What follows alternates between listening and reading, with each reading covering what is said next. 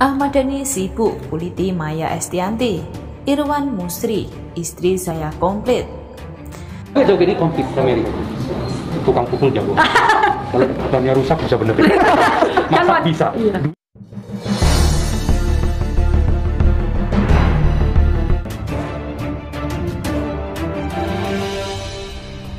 Berbeda dari Ahmad Dhani yang hobi menyerang Maya Estianti, Irwan Musri memberikan pujian tinggi untuk istrinya itu.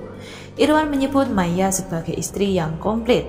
Istrinya agak pemberani, brutal, tapi nggak apa-apa, istri saya komplit. Tukang pukul jago. Jauh ini komplit sama. Tukang pukul jago. Kalau bannya rusak bisa benerin. Masak bisa. Duit banyak. Mana nih? Pakai rok doang Nah, ya. iya, saya pun kaget tadi ketemu saya terus. Nggak kenal tadi Saya ketemu di sini. kenal siapa? Hai hai, how are you? Terus saya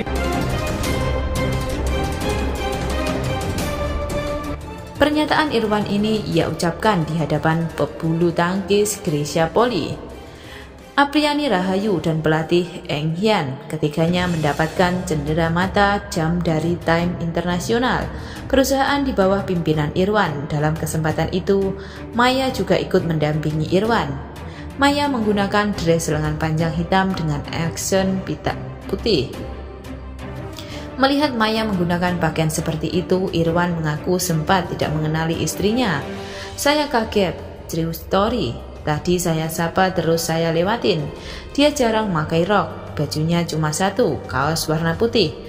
Udah paling murah bini gue, tutur Irwan yang disambut tawa. Pernyataan Irwan ini berkebalikan dari pesan yang dilontarkan Ahmad Dhani kepada media. Dhani yang kini menikah dengan Mulan Jamila bekas partner Maya di Duo Ratu itu menyebut mantan istrinya ini ratu pencitraan. Dhani juga menyebut Maya sebagai tukang gibah karena masih membawa-bawa Mulan. Entah apa sebabnya, padahal menurut pengakuan Maya sendiri hidupnya sudah bahagia. Semakin tua semakin bahagia. Disclaimernya, tulis Ahmad Dhani melalui pesan singkat kepada media Sabtu 28 Agustus 2021. Padahal Maya sendiri mengaku sudah melupakan masa lalunya dan melanjutkan hidup. Ia juga meminta anak-anaknya tetap menghormati kedua belah pihak. Bahkan aku bilang ke anak-anak pas umroh, doain ayah, doain dedi, doain tante Mulan, doain aku juga pastinya.